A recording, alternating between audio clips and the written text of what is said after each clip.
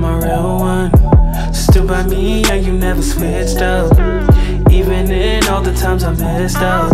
Yeah, yeah, you were one in a million. And then my what's up guys welcome back to my channel all right so we on day 14 of vlogmas i'm not gonna lie it's been difficult to make sure i'm getting content up for you guys every day especially with it being quarantine there's not a lot of stuff going on so yesterday i didn't really have anything to film i wanted to do a makeup tutorial but that didn't work out so today we're gonna be cooking uh, i want to do some surf and turf it's gonna be for me and my fiance show you guys how I cook. Um, I'm going to take you guys to the grocery store with me as well. Why not? I'm only going to get a few things. The menu is steak. Yeah. And I'm going to do a boneless ribeye. That's my favorite. Lobster tail. Green beans. And roasted potatoes. Roasted red potatoes or just roasted potatoes. I might do red because red is easier to cook than regular potatoes um, and then maybe it's like some red wine. I think that would be a good meal. And I want to do something for scratch for you guys. Something that, you know, didn't require any box cooking. So I feel like this would be the perfect one. Excuse my eyebrows, but I do feel like my skin is getting better. I've been on a skincare journey. I can tell that it's lightening up right here. And also right here. So I'm just trying to take you guys along. I'm to be continued on that. Um, what else do I have to say? Yeah, just keep on tuning in. Vlogmas is coming along great. I'm really enjoying myself. I feel like my mom was always telling me I need to upload more on YouTube. And now that I've been uploading more, you guys' engagement has been up like like triple. Um, everything's in the green due to Vlogmas. Oh, let me show you guys Seppi outfit. Come here. Come here. He's ready for Christmas. Come here. Come here. Come here. You don't want to be on camera? Come here. I could flip it. You want me to flip it? Yeah. You don't want me to flip it. but look at him in his bow. Ain't that cute in his Christmas pajamas? He's like a real baby. He thinks he is. He thinks he's my first child or whatever. Um, I haven't been able to get my nails done unfortunately. At first, I was a little nervous because a lot of people in my family have been getting sick and I didn't want to bring anything back and I didn't think it was that important for me to get my nails done. Like I I like a good, you know, full set, but I'm not like the type of girl that's like dying if her nails isn't done. But I do want them done for Christmas, especially when I'm filming too. I just like every time I put my hand in the frame, it makes me cringe a little bit, but I'd rather be cringing than I got sick. But yeah, hopefully I can get like a Christmas or holiday theme nail vlog for you guys. I do have a good, like some good inspiration in my head. So hopefully um, my girl, oh, my girl that does my nails that I really trust to do my nails, she is not taking appointments right now. So she told me that she'll be started taking appointments the 21st. So I'll try to make sure I can squeeze in a nail vlog for you guys.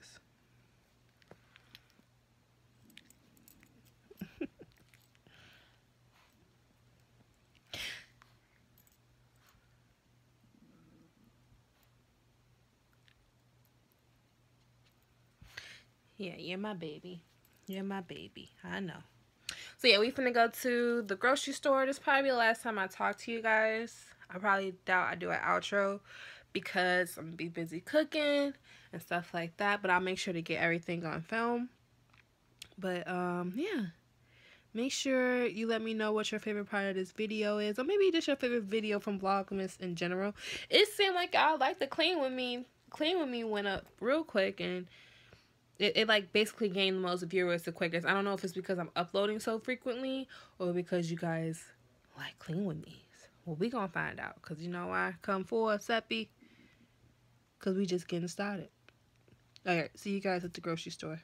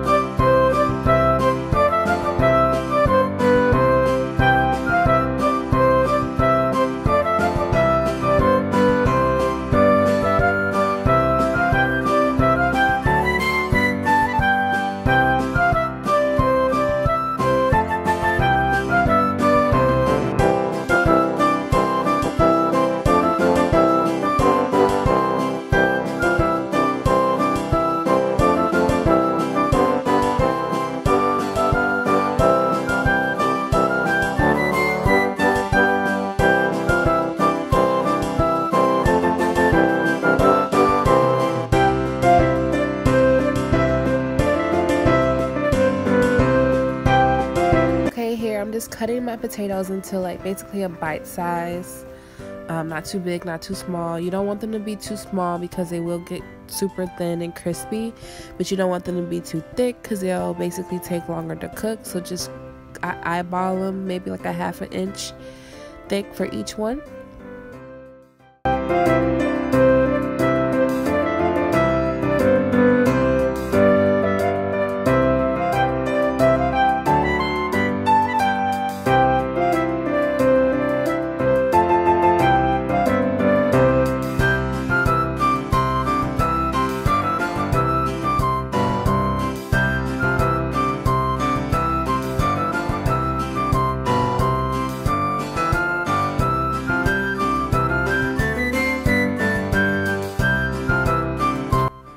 Okay, so make sure you preheat your oven to 400 degrees.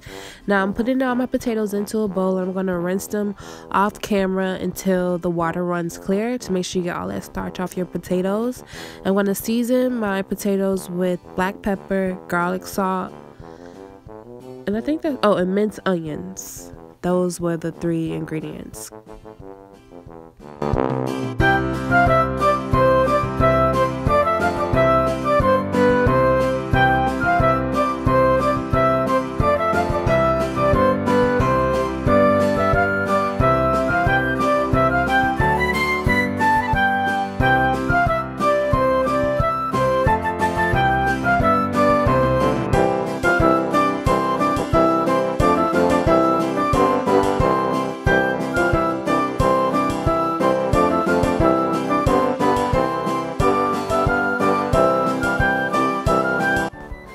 So I had to change my angle up really quick. So I got some aluminum foil. I laid it on top of a baking sheet.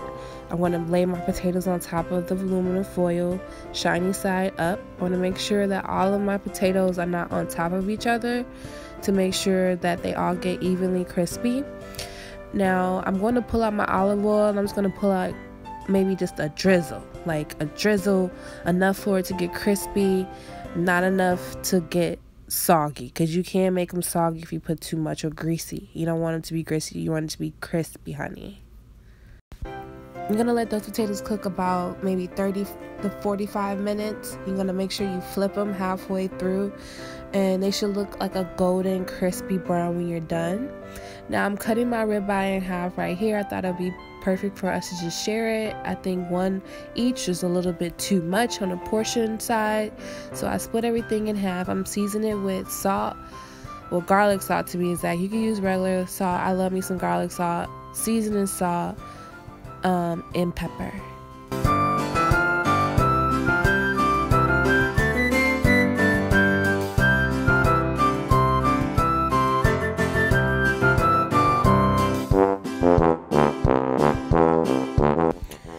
So another piece of aluminum foil on top of a baking sheet. Make sure the sun the shiny side is up. You're just gonna put those beautiful steaks on there right in the middle. I'm gonna show you guys a little trick that I use. I'm gonna use just a splash of water. Like a little bit of the water is gonna help the steak retain some of that juiciness um, so we're gonna bake it first and then we're gonna sear it. So we're gonna make sure it's all juicy and tender on the inside, and then we're gonna make sure it's crispy on the outside. And I think I make a good steak. Like I love steak, so either you buy a good steak or you learn how to make a good steak. And I makes a good steak, and that's gonna cook for about 10 to 15 minutes. I do recommend knowing before you cook this how you like your steak cooked. I'm a medium well girl, so I'm gonna basically bake it based on me liking it medium well. So that'll be about 10 to 15 minutes. So here I'm washing my lobster tails off to make sure I get them all clean. I'm just going to season these and then going to put them to the side. I think the sooner you season seafood, the better because there's such, it's such a lean meat that it can hold on to season really, really well. So you can even do it overnight. I don't, I got them today, but I think even if I didn't, I would marinate my lobster because lobster can dry out really easily. You don't want your lobster to be dry. You want it to be juicy and succulent. So I'm just going to season season them really quick. I'm seasoning with cayenne pepper, garlic salt, black pepper, and I think that's it. Just those three. I'm very simple with my seasonings, but they're I'm gonna make sure I base it in butter as well. So I don't know the particular method of this. Like I basically cut the lobster tail down the middle and then I'm going to make it spill over the top. Like I literally pull the lobster tail out and just make it spill over the top. I think it's called the butterfly method, but do not quote me on that. But that's the method I chose to use.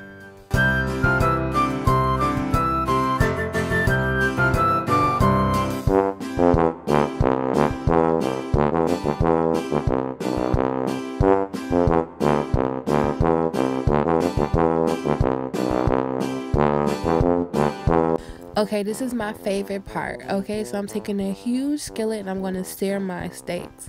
So I took my steaks out. They're still bleeding. I like my medium well. Again, if you like yours well done, I would still advise you to take them out a little bit before they're cooked all the way through and sear them because you, I don't know, I feel like you, if you're a steak person, you know. But yeah, so I'm taking some butter. I'm going to heat all that butter up. I just cook it slowly so it can be a cute golden pal butter. But then when I'm ready to put my steaks in, I turn the heat all the way up. I think heat is very important when you're learning how to cook. You are in control of the stove. You can turn your fire down, you can turn your fire up. So this I have it all the way up and I'm basting my steak in actual butter.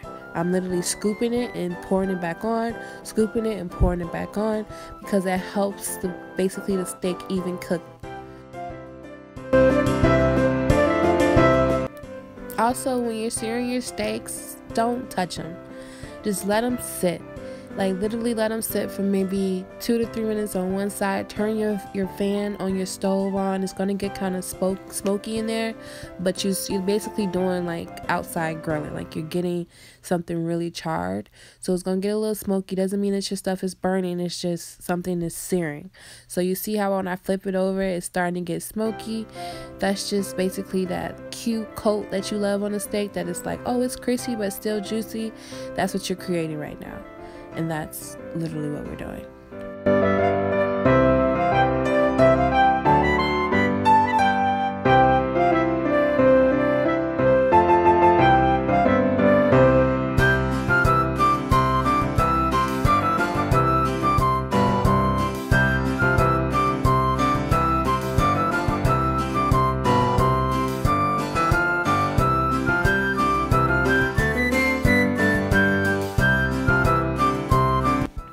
Okay, so I'm taking the steaks out now.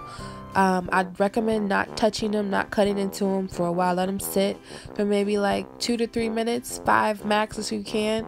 But do not cut into your steak right away once you tuck it off heat because it's gonna um, shock the meat. And then I'm gonna take my green beans and I'm just gonna pour it instantly into that butter that I just took out my steaks. I do turn my fire on too low, and we're just gonna coat that all of that all that goodness, all that flavor um, in the green beans. And I do season my green beans with um, black pepper and garlic salt.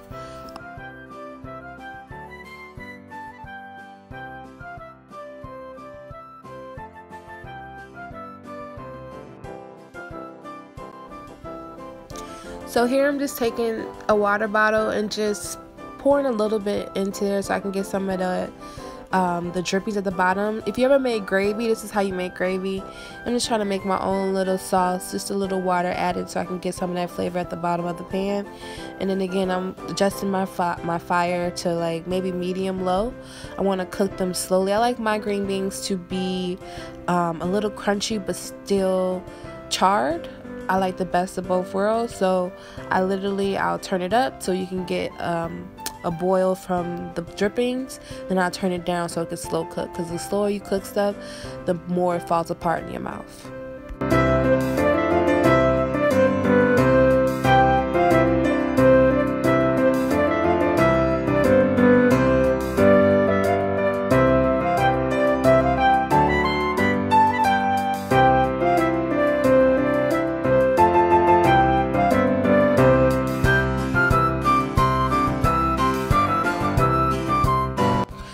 Okay, so my potatoes are done right here. I, I had already flipped them off camera.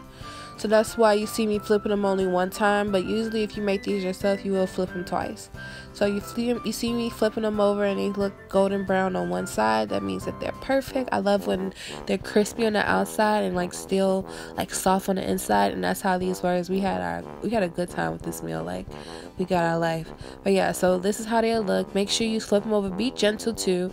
Um, they should flip over no problem. But if not, you want to be gentle so they don't break apart. It's all about presentation, and these came out perfect. Now, I just set my oven to broil high. That's how I'm going to cook my lobster tails. I am going to melt some butter. Melting butter is going to help, like, basically flavor seep into your lobster tail. I just literally put it in the microwave for maybe about 30 to 30 to a minute 30 seconds to a minute to melt the butter. And I have a brush. I'm going to brush it on to the actual lobster tail before I put them into the oven to broil. And then I'm also going to do it when they come out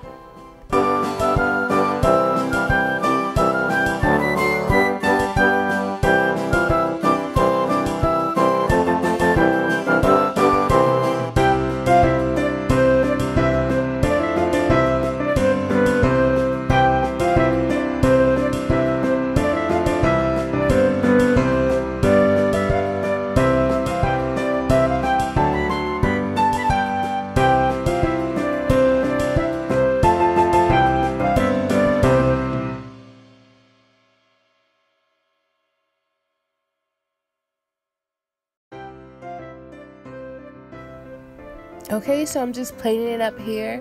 Um, I like to call myself Chef Lola. You know how I do. Um, that's all. But yeah, this is how I do date night. You just go to the grocery store, get some lobster tail real quick, surf and turf, nothing major. I hope you guys enjoyed this video. Um, make sure you leave a comment on what part of the video you like the most. And I'll see you guys in the next one. Happy Vlogmas. Love you guys. Bye.